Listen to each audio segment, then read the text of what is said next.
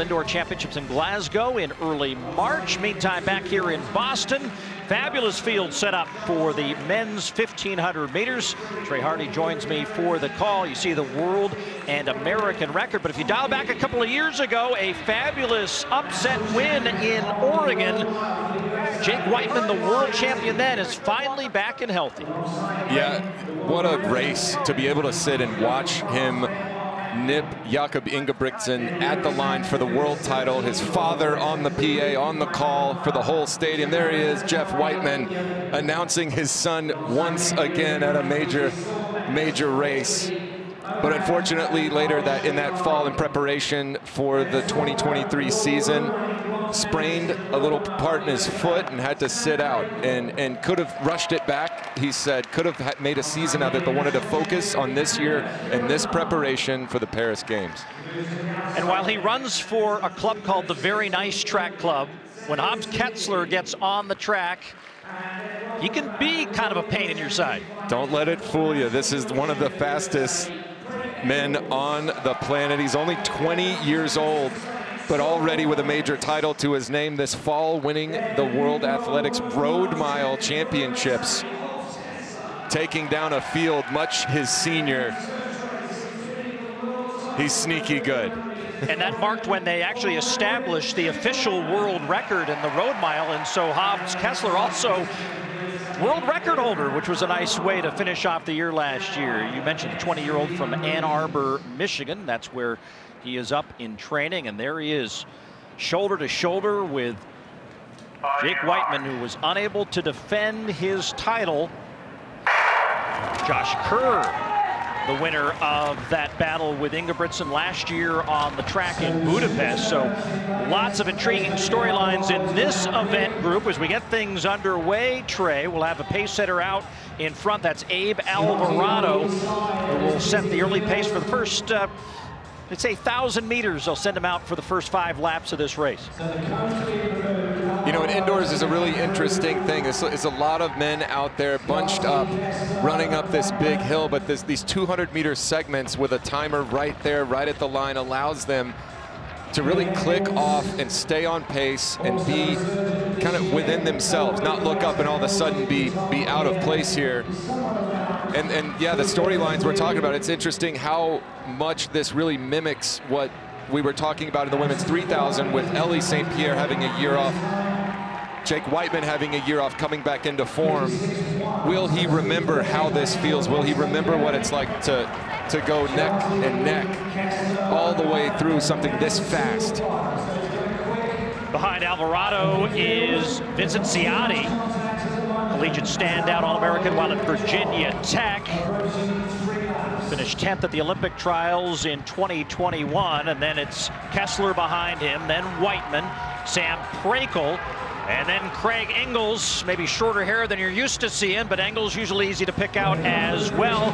U.S. champion himself trying to be in the mix here. Kieran Lum right behind him. Fabulous field here. Single file as they come to the line with four laps to go. It's always just so exciting in watching a young U.S. distance star make that transition, whether it's from high school to college or high school straight to the professional ranks as Hobbs has done.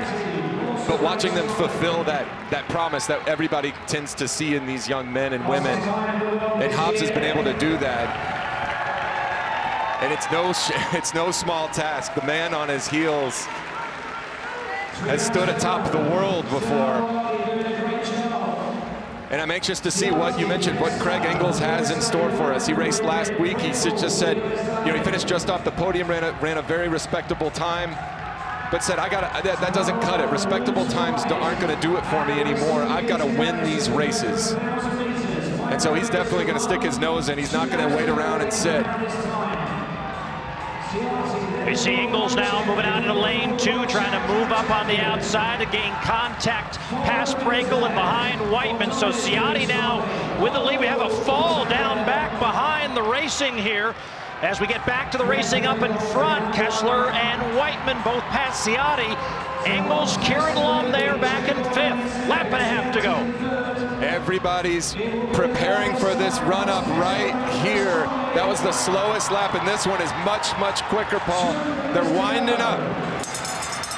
Look at Kessler begin to open up the legs here as he goes around for the last lap of this 1500 against the world champion from Oregon back in 2022, and he's got daylight, but here comes Wightman.